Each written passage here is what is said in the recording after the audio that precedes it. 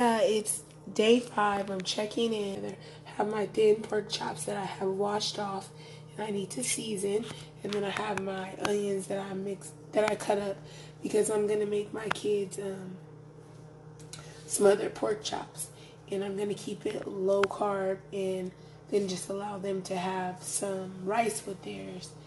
And obviously, if I was to eat it, I would just skip the rice and probably do um, mashed cauliflower just the vegetables because you know you know um, sometimes just the meat and the veggies is enough. Especially when you have gravy. I always find that gravy makes me forget about about my starch component to a meal. So that i am like i talked about the jicama sticks. So what i'm doing now is boiling them because i find that like i told you guys i'm going to be making um, a riff on fries with those, and I found that they um, the texture isn't all the way there. Like I said, I'll usually par cook them or twice fry them, or that's what I've done in the past, and that worked out pretty well.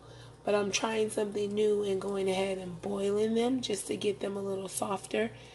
And then um, I'm probably gonna, you know, keep them in the freezer because, as you can see on the container, even though I was impatient, I went ahead and bought them in their best um, by the 10th. And like I said, my fast is going to continue a little longer than I initially planned. So I'm going to go ahead and boil those up. And then when they get a little softer, I'm going to probably put them into a, a bag and freeze them. Onion powder, I have my black pepper. I have a huge thing of um, Kirkland Himalayan pink salt this doubles for me as also a part of my electrolyte drink that I like to have. Um, I don't know if you guys have heard of the snake diet, but he has a really good recipe for when you're fasting, keeping your electrolytes in balance. So, literally, night and day, the difference that you'll feel if you keep your electrolytes balanced as opposed to just plain water.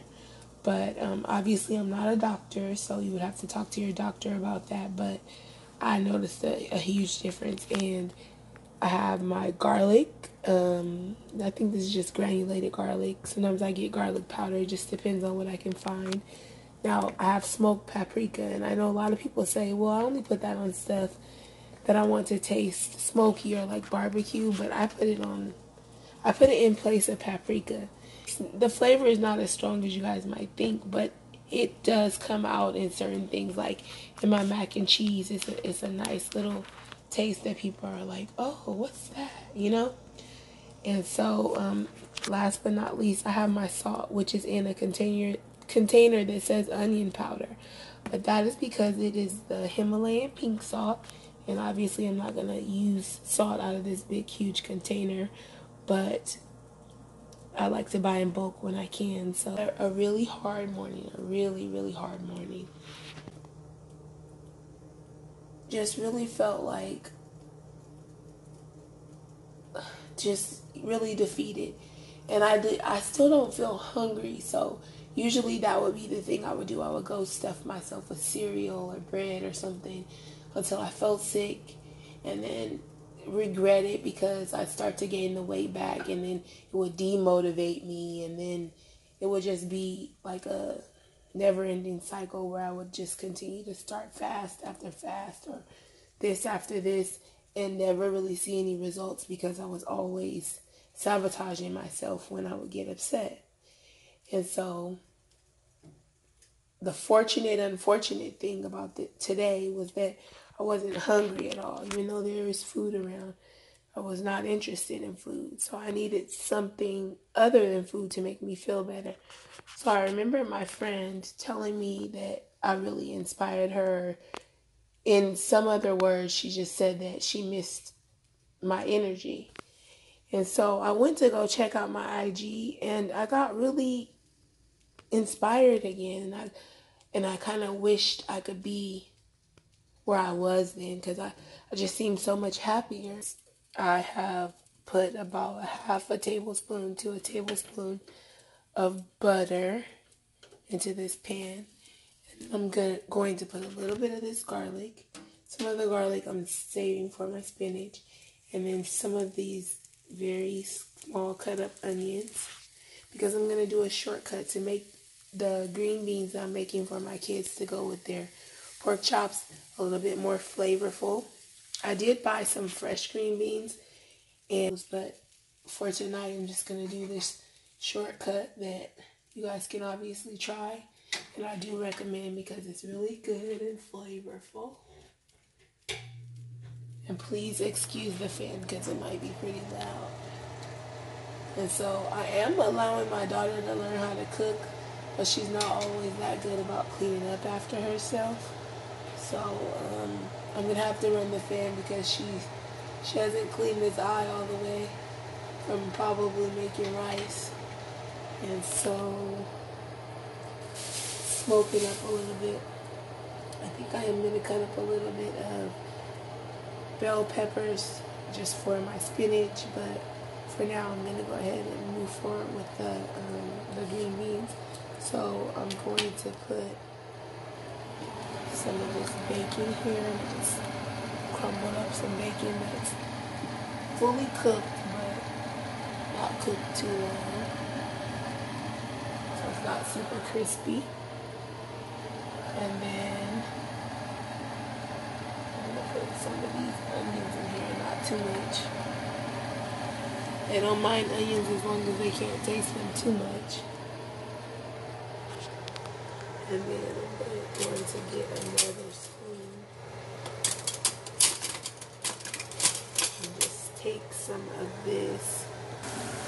So I grabbed some of the garlic and I'm going to put that in too. But right now I'm going to get a wooden uh, my pot. But I actually went out and got myself a new wooden spoon. And the excitement of idea of being back in the kitchen and sharing that with you guys. So as I was saying, um, she she encouraged me by saying what she said, my friend. And so I went on my Instagram and kind of got inspired. And then what was nice is that I it, it, also reminded me what that this was my happy place, the kitchen. It, it made me feel good. So I I looked at how many recipes I had shared and how much I'm gonna go ahead and put some pepper in here. I love black pepper. Makes me think about my grandfather. He would always put pepper in anything do like extra pepper. My grandma did most of the cooking, but my grandfather had a few specialties. He made he made hoghead cheese, which I'm not a fan of, but still kind of nostalgic for me because I lost my grandfather in November, I believe, of 2013. And he was like a father to me, so that was really hard. I still miss him. But um, yeah, so he would put black pepper and everything. I'm not gonna add salt because the butter has salt and the um, the other stuff. So I'm just gonna do the pepper. Usually when I cook onions, I like to add um, salt because it gives it a lot of flavor. But the butter and the bacon should add some saltiness to that. And since it's starting to cook, I'm going to add the juice from the green beans. Now you can always add water if that's what you prefer, but I'm going to just go ahead and use the juice. And then I'm going to use some of this bouillon to make it like a broth, like as if you were to cook long cooked green beans. And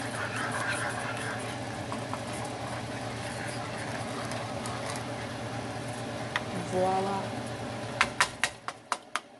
Going to add a bit more water using the can once I put the green beans in. But I'm going to allow these to cook for a substantial amount of time. A little bit longer than what I normally do for cooking these kinds of beans. Just so the flavor can be infused into the green beans. There's still a few in here and I'm pouring with the water because I did go a little heavy on the bouillon. I don't want them to be salty.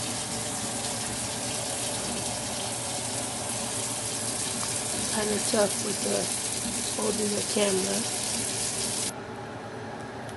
So trust me, it's going to taste great. I went ahead and added a little bit more pepper. And I'm comfortable the seasoning now. So I'm going to let that cook up and they'll have tasty green beans. And, oh yeah, before I forget, I'm going to go ahead and add this much garlic. That was about a half a teaspoon, I guess. I would guess. I'm not really that good with measurements, but my stuff usually turns out great. So, and then while I'm here, I'm gonna go ahead and check these and see if they're getting a little fork tender, and they are. So that's great. So I'm probably gonna turn the heat off on that and just leave it in there because they're still not super super um, tender, where I think they're gonna fall apart, but I think they're done cooking actively. So I went ahead and stopped that. And then I'm going to add a little bit of smoked paprika to this because like I said, we are going for that smoky effect specifically in this because that's why we put the bacon in. We wanted to taste like we put smoked turkey or something in there. And so I'm going to go ahead and turn the oil on so that it can get nice and hot.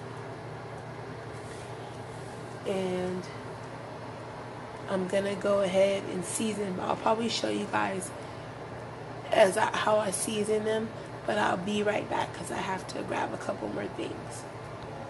So I got rid of some of the mess that was in the way. And while I was here and I just spoke about the pink Himalayan salt, I want to share this real quick. So this is sodium free. I don't use it to cook, but I use it because it's an excellent source of potassium.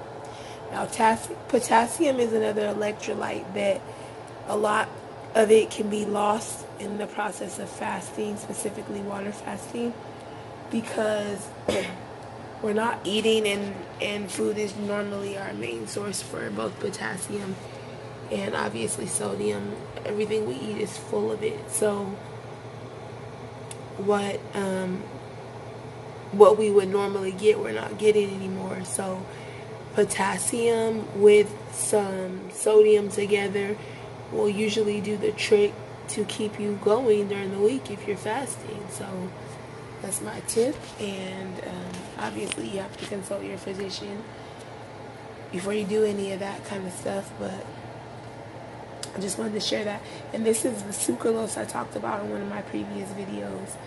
People have different um, opinions on sucralose, but I haven't found any research to show that it's harmful. And I found that it's the one that best works for my taste buds. I use this in conjunction with another sweetener, usually erythritol, because that one doesn't affect your um, your insulin response, your glucose your blood sugar. Um, I watched a video where, um, what are they called? I'll think of their name and put it in the description box. But um, they did a whole video where they, each day for about a week, I want to say, they woke up in the morning um, and they tested different sweeteners for how they affected their blood sugar. It was a really helpful video for me to watch. And I learned that both this and the erythritol were good options as far as your blood sugar goes. So, I know that this fast is going to help because it's helping already.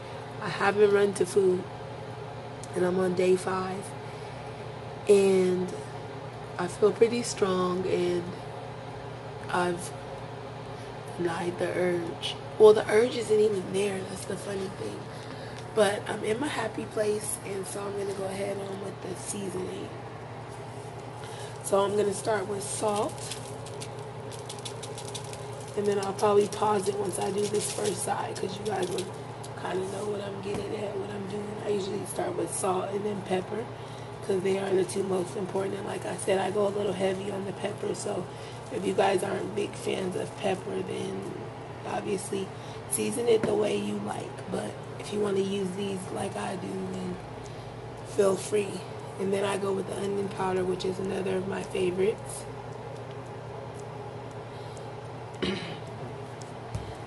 I sometimes hesitate to use this in like um, the flour mix if you're like breading your your um, chops. This and garlic.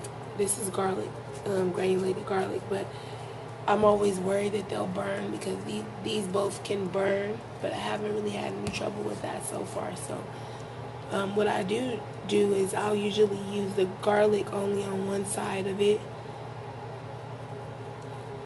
Onion powder I'm just in love with, not using a lot. So I'll come back with finish up. So I put the pork chops in and I flip them over. They're just about ready. They're a little thicker than what the package said, but they are gonna cook a little bit more in the in the gravy, the onion gravy. So I don't need to go too far with them. And I'll be so I am not at all a fan of having a burnt flavor in my food. So I went ahead and added a little bit of butter to this pan. So I got my onions going, they're looking good. And I got that xanthan gum in there. So I'm going to cook these until they start to all be translucent. I did have to add butter because the oil at the bottom was a bit more burnt than I like to use. And so I went ahead and just cleaned it out for the most part. And um, grabbed a few bits before it got too dark when I was taking the chops out. And that on my spoon my onions and get the gravy started. So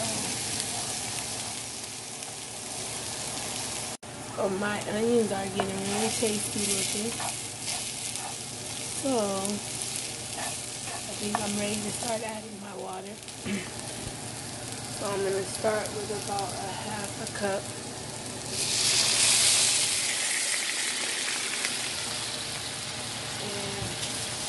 Think I'm going to end up with about a full cup. Like I said, I'm not super... Um, super used to doing so much measuring, measuring. And I do want to make sure that, that I don't lose my flavor, the water, and then it thickens up for me with the xanthan gum. So I went ahead and added the rest of the water. So want to have enough gravy because I believe the xanthan gum will start to kick in and make it a little quicker. I apologize for getting out of focus. My videos, I hope, will start to get a lot better quality when I can link up my schedule with my daughter so she can be my camera woman some of the times and then I can get some more equipment or something so that I can make better quality videos. But for now, who wouldn't love smothered pork chops they can be eaten on a low carb, balanced, or keto meal plan and still be delicious. So,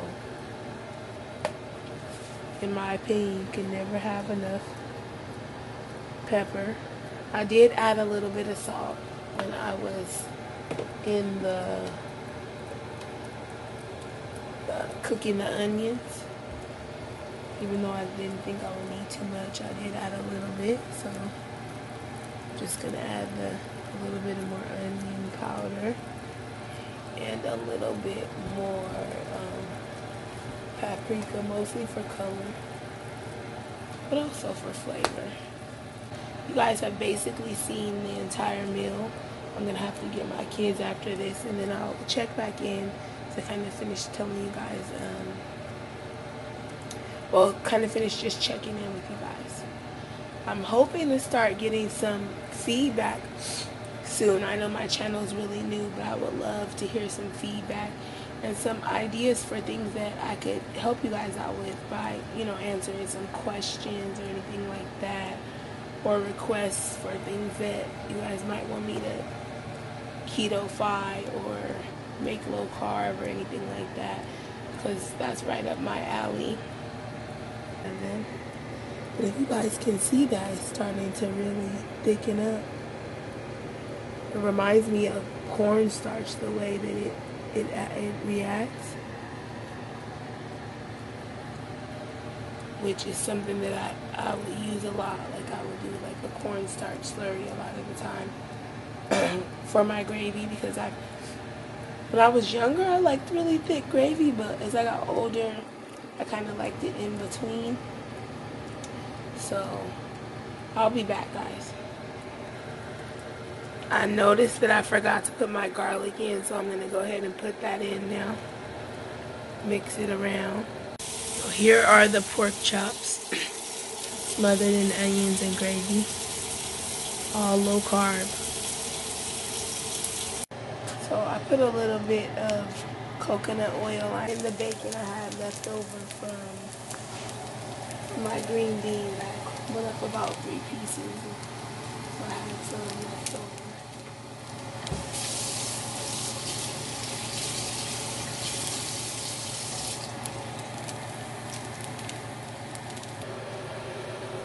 Bacon can have a tendency to start cooking pretty fast. So I'm going to add the vegetables and the garlic. I wish I had smell-o-vision if you guys could smell this. And as you can see what I said about the baking, very true. It can start to go pretty fast. So I have to be careful with that. I might take this one piece out, and let one of my kids eat it are the ones who like the crispier kinds of bacon. And the vegetables will obviously slow that process that down. But once the saltiness of that and the oil, all those flavors start to get together, and does it smell nice. So I cut everything up pretty small because it was my intention for it to cook pretty quickly. The spinach cooks very quickly. And so I'm um, going to take this opportunity as it starts to wither to add a bit of seasoning to it. So add a little bit of salt. Not too much. Some pepper.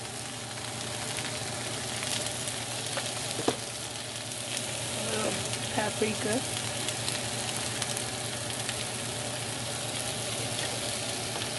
Because I love it. and a little bit of onion powder. Because I also love those. And a deviation that I made early on in keto was that I'm not super um, OCD about my veggies. Even though it didn't make much, what I'm left off with is a very savory, delicious addition to any meal. You can have it on the side of some salmon or any other protein you like. You can put it with eggs. You could cut up a rotisserie chicken, a breast, and put a little, if you're going low fat, you can use yogurt for creaminess and then a little bit of cheese and make it up in a lavash wrap or anything like that. Um, make it into a dip. That's what I've done with something similar in the past with like either canned chicken or rotisserie chicken that you break down. But it's definitely delicious and it's definitely worth doing so that you don't have to get rid of your spinach. And then before I go, because I have to go get my kids, I have boiled and then I bagged the jicama sticks. And so they're half cooked and when I'm ready I can cut them up in thinner strips and fry them and try to make our faux fries. And then close to the five day mark and I wanted to just do a quick weigh in. Please like, subscribe, and share and I'll talk to you guys next time.